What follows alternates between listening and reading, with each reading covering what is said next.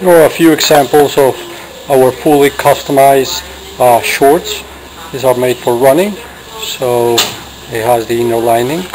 And the outer uh, fabric can be fully customized. We can have any design, any color. We always start with right fabric.